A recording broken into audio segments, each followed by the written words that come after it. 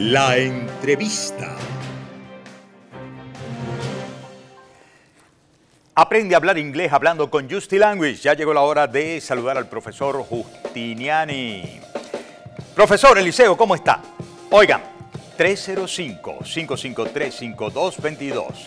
De nuevo, 305-553-5222, el número telefónico de la escuela dedicada a la enseñanza del idioma inglés, enfocada especialmente para la población hispana con un método único creado por el profesor Eliseo Justiniani, quien es doctor en lingüística, psicolingüística y con un máster en pedagogía del idioma. Con más de 40 años de experiencia, esta escuela ha graduado a miles de estudiantes. Ahora con un método novedoso y revolucionario con el cual le aseguramos que usted hablará inglés fluidamente. Se utiliza el método Language, que consiste en enseñar el idioma inglés al igual que usted aprendió su lengua materna, es decir, escuchando y repitiendo sin necesidad de estudiar gramática, pues le enseñamos a entender primero y a hablar después. Ya sabes, 305-553-5222. El número telefónico de Justy Language accede a Justy Language, accede a hablar inglés hablando. Sí, señores. Bueno, vamos a darle la bienvenida a nuestra invitada especial esta noche. Eh, como son invitados especiales todos los precandidatos presidenciales, vamos a estarlos convocando a ediciones eh, más eh, dilatadas de entrevistas, de conversaciones con este servidor y en este programa. Ella es Delsa Solórzano, precandidata de Encuentro Ciudadano. ¿Cómo estás, Delsa? Bienvenida a la entrevista. ¿Cómo estás, Miguel Ángel? Qué gusto conversar contigo. Y tengo que decirte algo, qué bonito ver el, la intro de la entrevista y, pasan por la mente de uno tantos buenos recuerdos de una buena época en Radio Caracas. Sí, sí, sí, sí. Bueno, mucha historia, ¿no? Contada y vivida en, las comunicaciones y en la política. Bueno, mira, eh, yo quisiera antes eh, de entrar de lleno en el tema de lo que queda de aquí al 22 de octubre, si es que va a haber primaria el 22 de octubre, que evaluemos este asunto. Por favor, dame la publicación de Data World, si eres tan amable, a full pantalla, en leer que la vea Delsa también. Dice, medios de comunicaciones del gobierno difundieron encuesta que aseguró que Nicolás Maduro es aprobado por el 80% del país y solo el 7% es opositor. Pero acotan, la encuesta es data viva y fue suspendida en Twitter, es decir, en la plataforma X. Página 1, dame la página 2. Aquí está, la página 2. Miguel Ángel Contreras, sociólogo asociado al chavismo, señaló que la encuesta tenía como muestra, oigan, las bases de emisiones del chavismo y no la totalidad del país. No es menor este dato, oíganme ustedes, que la muestra de esta encuesta Data Viva tenía, eh, eh, era las bases de emisiones del chavismo y no la totalidad del país. vamos a escuchar qué es lo que dice Miguel Ángel Contreras, sociólogo de la causa gobiernera. A ver. ¿Cuándo hizo esta encuesta su, su, invitado? Ya que nadie he conocido que haya sido consultado. ¿Qué le responde, profesor? Que como, como se dijo anteriormente, una encuesta realizada en una base de, vivienda es una encuesta estratificada, este, por lo tanto no necesariamente pasa porque uno encueste a la persona que está haciendo la pregunta. Eh, Bien, hay más comentarios, vamos a compartir con usted ahora lo que escribe Ramón Colmenares. ¿Dónde hace las encuestas este caballero? En la sede del Partido Socialista Unido de Venezuela. Porque la percepción nacional es que el país está arruinado y destruido precisamente por la acción del gobierno socialista y bolivariano. Encuesta para todos los gustos, escribe el señor Ramón Colmenares, que le responde, profesor. Claro, eh, indudablemente uno de los temas más importantes para nosotros sería, digamos, para nosotros como país, es tratar de recuperar la confianza política. Uno de los aspectos medulares de recuperar la, confianza política también es que exista la, deliberación y que es que indudablemente eh, los temas de percepción nos indican una cosa que es relevante. Nos indica que tenemos diferencias en la forma como percibimos, los, los distintos actores perciben la realidad social y política. Bueno, ven, ven, ven para acá. Contestó, contestó que eh, la muestra había sido tomada en las bases de misiones del chavismo. Bueno, y luego medido contra los precandidatos, ganaba Maduro en todo, pero le daban un porcentaje a varios precandidatos. Eso quiere decir que, bueno, ni siquiera tienen seguridad dentro de las bases del chavismo. Pero eh, queda de manifiesto un desespero por tratar de torcer esa realidad. Tú que estás dando giras por todo el país, Realmente cuéntanos la historia de esa decisión de cambio. ¿Es una decisión realmente eh, beligerante, activa, eh, con fuerza suficiente para sí en esta oportunidad concretar la salida de los dictadores? Sí, eh, y, con relación a, esa encuesta, yo quiero recordar que esa encuesta de Data, Data creo que se llama. Data Viva.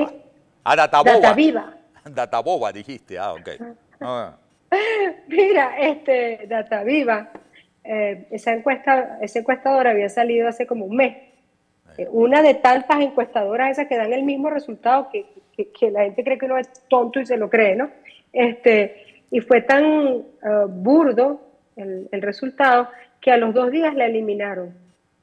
Y cerraron la cuenta de X y luego ahora vuelve a aparecer hace 11 días con una nueva encuesta, entre comillas. Y yo siempre le digo a la gente que nos mira, les pregunto, ¿alguien que usted conoce ha sido encuestado? Cualquier persona. Con la cantidad de encuestas que se hacen en el país, usted debería por lo menos conocer a una persona que haya sido encuestada. Y nadie, yo no conozco a nadie, y, nadie que yo conozca a su vez conoce a nadie que haya sido encuestado. Te digo esto para que la gente no se deje llevar por estas supuestas encuestas que no son tales. Ninguna, no están haciendo es mentira. Están manipulando o pretendiendo manipular la intención de voto del venezolano en vez de hacer campaña ganándose los votos uno a uno en la calle. Eh, quieren manipular nuestra, nuestra intención de voto haciendo creer que hay un número este o un número aquel, cuando, cuando la verdad es que, a ver, ¿qué hay en la calle? Miguel Ángel. No, pero ya va, ya va, ya, me vas a contar, ya me vas a contar qué hay en la calle. Pero es que la primera precisión que quiero hacer es la siguiente. Entonces tú no crees en la encuesta de Ataboba. Cuando dijiste Ataboba cometiste una Miguel Angelada, ¿no? Y yo no te la agarré en el aire. Sí, está bueno la, la encuesta de Ataboba, pero tampoco crees en ninguna otra de las encuestas que están dando, por ejemplo, un favoritismo muy marcado a una de las precandidaturas, la de tu compañera este, María Corina Machado. Las demás tampoco. No, te pregunto por las encuestas, te pregunto por las otras encuestas. Te pregunto, por ejemplo, por Mercanálisis, Delfos, este, ORC, eh, Meganálisis y cosas. ¿Tampoco crees? Cuando tú te metes, es que son unos descarados. Tú te metes ahí, hay una de esas que nombraste, ya no sé ni cuál, que tiene un canal de Telegram. ¿no? Tú te metes en ese canal de Telegram y es una empresa de propaganda hacia una candidatura. O sea, y cada quien tiene derecho a apoyar a quien quiera. Pónchale, pero, pero, pero una encuesta, en mi criterio, tiene que ser un instrumento serio de medición que te oriente, incluso estratégicamente, en, en cuanto a cómo debes orientar un aspecto u otro de tu campaña, que están utilizando las encuestas, yo siempre lo digo y lo digo con muchísima sinceridad, como instrumento de propaganda y eso, y eso es condenable. Pero en todo caso... ¿En cuál encuesta, en cuál encuesta depositas confianza de las que se han publicado? en ninguna. ¿no crees en ninguna? No, no, no, no, no. Yo creo en la calle, Miguel Ángel, en lo que yo estoy viendo y viviendo en las calles de nuestro país. Y creo además en la férrea voluntad de cambio de una nación. Una férrea voluntad de cambio que yo estoy viendo y estoy viviendo que a mí nadie me va a contar porque lo estoy viviendo en la calle. Y siempre digo también que yo soy de, los candidatos que lo que tiene son recursos humanos, que creo que, que, son los más importantes, no recursos económicos. Yo estuve en Petare el sábado, en Petare, no es que, no, no es que estuve, estuve en Petare el sábado. Pueden verlo en mis redes sociales. Ya va, ya va, ya va, Delsa, porque es que, es que con tu gestual me estás volviendo loco con lo que incitas de preguntas. Cuando, ¿qué, ¿qué, es lo que me quieres decir? Cuando yo estuve en Petare, no es que estuve, eh, eh, eh, no, no, no, estuve en Petare. ¿A qué te refieres con que, no es que estuve, y a quién te refieres? Por favor. sí. ¿A quién no? Yo me refiero a mí misma. No, no, no, no, no. No, no, no. Tú dijiste, cuando tú dices, yo sí, perdón, yo estuve en Petare, no es que estuve en... Eh, eh, eh, no, en la periferia de Petare, porque hay, ah, maneras de estar en Petare. Tú puedes estar, qué sé yo, en la periferia, en los alrededores. No, no, yo estuve en Petare arriba. En Petare cerro arriba. En la bombilla, para allá. Estuve en Petare. Lo pueden ver, te repito, en en mis redes sociales. O sea, no, no es una exageración, no es una mentira, no es un montaje. No, no, estuve en Petar el sábado Ok, entonces, ¿qué es lo que te está diciendo la calle distinto a lo que dicen las encuestas? Petare, en, en, un sitio donde habitualmente te dicen, no, no se te ocurra, no te metas, no vayas, no vas a poder pasar, no te dejo pasar.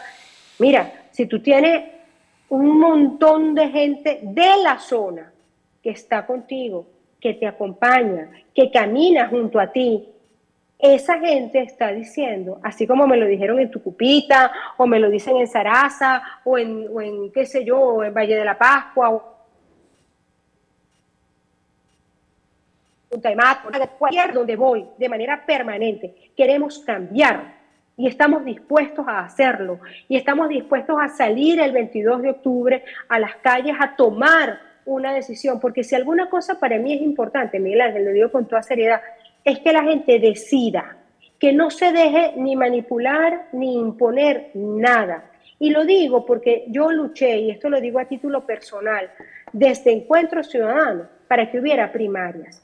La primaria es un evento que promovió la plataforma unitaria en primer término, que se abrió a candidatos que no pertenecen a la plataforma porque tenía que hacerse así, porque si no esto no sería una primaria, pero que hoy le pertenece a la ciudadanía. No le pertenece a ningún partido ni a ningún factor, pero para llegar a la primaria hubo que promoverla, hubo que, hubo que insistir en que se hiciera. Y para mí es un, es un, es un tema muy importante que esto fue una petición, una exigencia de encuentro ciudadano, cuando aquí la mayoría de los partidos no querían primaria e insistían en la necesidad de un consenso. Y para nosotros eso es impensable, porque esta es la oportunidad que tiene la ciudadanía de elegir, no de que le impongan nada, porque es que a mí no me gustan las imposiciones, vengan de donde vengan. Entonces, si por primera vez en mucho tiempo tenemos la posibilidad de decidir quién es la persona que le va a corresponder enfrentar a Nicolás Maduro, pues hagámoslo, decidamos y hagámoslo el 22 de octubre en la primaria. Eso es fundamental. Y eso es lo que me dice la tengo, tengo que hacer la primera pausa. Al regreso, eh, compláceme en esto. Eh, porque es que la mayoría de las encuestas que hemos leído eh, dicen eso, que la gente quiere cambio, que incluso en Caracas el rechazo a Nicolás Maduro mm, rebasa el 90% pero dice otras cosas respecto del modo eh, que quiere ese cambio. Y como tú acabas de decir que no estás creyendo en encuestas y tienes tu derecho y estás argumentando las razones por las que sostienes eso, entonces al regreso, por favor, compláceme con un poquito más de la explicación. ¿Qué estás escuchando en la calle que no digan las encuestas que sí dicen lo que acabas de decir? Tú me entendiste. Vamos a la pausa, amigas y amigos, y también vamos a hablar de lo del Consejo Nacional Electoral, porque con eso hay una trama por, por delante, ¿no? Delsa Solórzano con nosotros esta noche, no se muevan de ahí.